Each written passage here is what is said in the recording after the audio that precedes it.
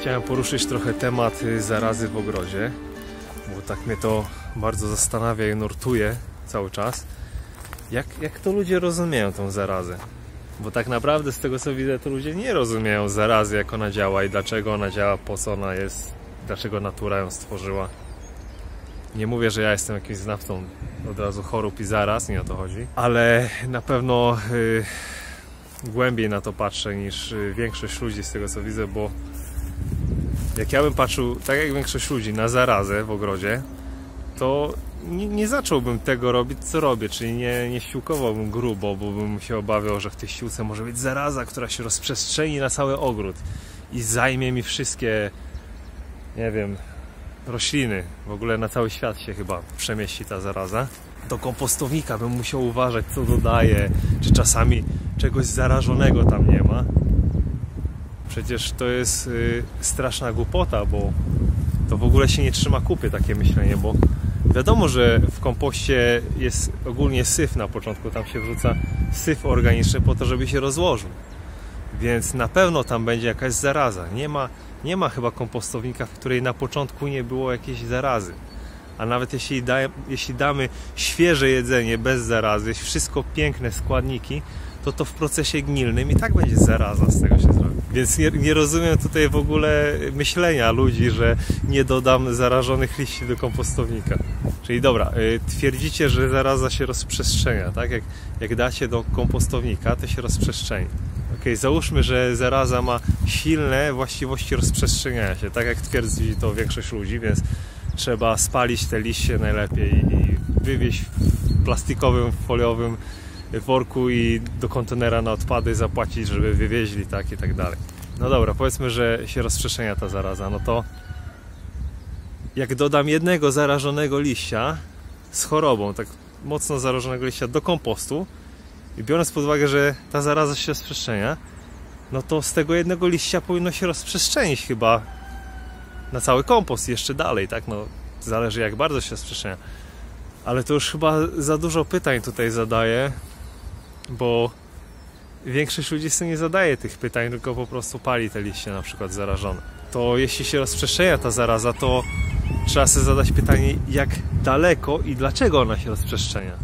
Bo przecież bez końca nie będzie się rozprzestrzeniać zaraza, tak? Jakby bez końca się zaraza rozprzestrzeniała, to byśmy mieli cały świat zarażony. Już dawno by umarł cały świat, bo by się zaraza, przecież jest tyle zaraz na świecie, i one by się rozprzestrzeniały, jakby się bez końca rozprzestrzeniały, to by już niczego nie było, by ani jednego żywego organizmu nie było na świecie. Więc co, po, co hamuje rozprzestrzenienie się zarazy? To trzeba sobie zadać to pytanie, bo widać, że no, zarazy bez końca się nie rozprzestrzeniają, bo już byśmy nie żyli dawno, tak? Więc co się hamuje, tak?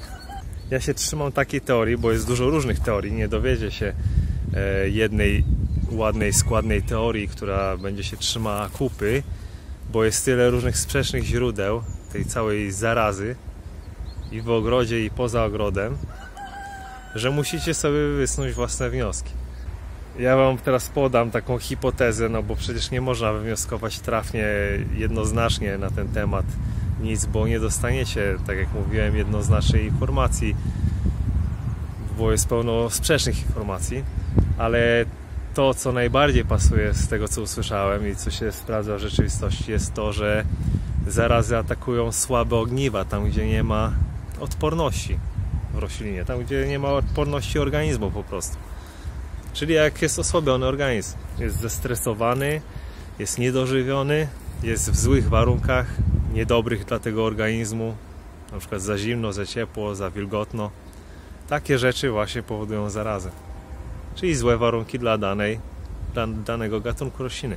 Czyli tak naprawdę musimy się martwić o to nie, że się rozprzestrzeni zaraza, bo to jest głupota, jak już wcześniej udowodniłem, udowodniłem powiedziałem, no nie, nikt nie trzyma się do kupy w ogóle, tak? Bo by się rozprzestrzeniała bez końca zaraza. Tak samo jakbym miał mieć kompostownik czysty bez zarazy, to jest niemożliwe, bo kompostownik to jest gniazdo zarazy na początku tak naprawdę, które zamienia się w co innego w procesie biologicznym chemicznym. Więc zaraza też wiemy, że nie jest wieczna, bo w procesie rozkładu zmienia się całkowicie i neutralizuje. Idealnym przykładem jest tego kompostownik. Tak jak powiedziałem, dodajesz zarazę na początku, zamienia się w zupełnie coś innego na końcu. Więc wiem, że zaraza nie jest trwała. Więc tak naprawdę nie powinniśmy się skupić na tym, czy się rozprzestrzenia zaraza, czy się rozprzestrzeni, czy nie. Tylko na tym, żeby dany gatunek rośliny miał dobre warunki dla siebie, takie jakie, takie, jakie ten, ta roślina potrzebuje. Czyli na przykład no, pomidor, wiadomo, yy, późnym latem nie lubi zimnej pogody, dlatego często nie dojrzewają pomidory, jak są poza szklarnią i obumierają. No ale dużo ludzi gada głupoty, że to zaraza je wykończyła. No nie, pomidor jest subtropikalną rośliną i nie toleruje naszej jesieni, po prostu zdycha jak jest zimno, proste. Więc to nie zaraza wykańcza yy, pomidora, tylko wykańcza je zimno. Albo, nie wiem, za sucha pogoda, czy za wilgotna, zależy jaka roślina są. Więc stąd biorą się zarazy. Jeśli ja będę się zdrowo odżywiał, to też yy, mniejsza szansa, że się zarażę czymś. Jak będę stał na zimnie, gdzie mój organizm nie jest wyposażony w ciepłe futerko czy tłuszczyk jak foka, nie jestem przystosowany do zimnego klimatu, to się przeziębię i dostanę zarazy. Tak? Kolejna rzecz, jeśli mamy, no ok, zarażone drzewo, jakieś chore, no to ok, to ta choroba może być tak, że ona się rozprzestrzenia dla tego gatunku rośliny akurat. Ale jeśli ja wezmę chore liście na przykład z jakiegoś drzewa, powiedzmy gruszka chorowała i wyściółkuję tymi chorymi liśćmi pomidory, no to te pomidory nie zarażą się chorobą gruszkową, bo to nie jest choroba dla tego gatunku. Przeważnie tak jest. Niektóre y, choroby oczywiście ok, mogą się rozprzestrzeniać, ale też trzeba brać pod uwagę, jak one się rozprzestrzeniają. Czy na sam dotyk, czy od korzenia, czy od liścia, czy może od kory. Jest dużo czynników, które trzeba wziąć pod uwagę. Ale wniosek jest taki, chodzi mi o to, że na pewno nie należy palić liści, bo może być tam choroba.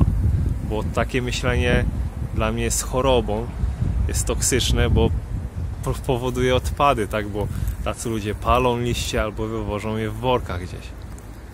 I to jest tak naprawdę choroba, bo niszczymy planetę.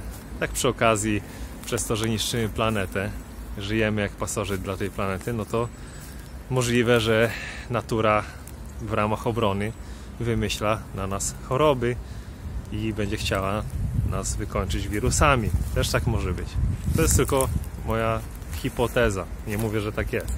Także chciałem to zaznaczyć, że no, żebyście się nie przejmowali za bardzo chorobą, że się rozprzestrzeni, tylko przejmowali się bardziej o to, żeby roślina miała dobre warunki bytowe. Innymi słowy, żeby nie miała, wiadomo, za ciepło, za zimno, za sucho, za wilgotno, no i przede wszystkim, żeby miała bogatą glebę, odżywioną dobrze.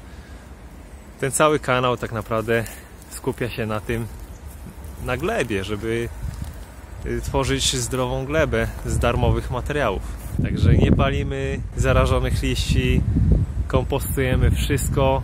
To wszystko zmienia swój skład z czasem, zamienia się w co innego zupełnie pod wpływem tej całej biologii, przemiany materii i tak dalej. Tak naprawdę tu w kompostowniku jest nawet zdechły szczur jakoś się znalazł. Ja go stamtąd nie wyciągnę, ja poczekam aż on się rozłoży dobrze i to będzie część kompostu po prostu. Na razie to jest zaraza. W tej chwili ten zdechły szczur, który tam leży, jest zarazą, to fakt. On śmierdzi padliną.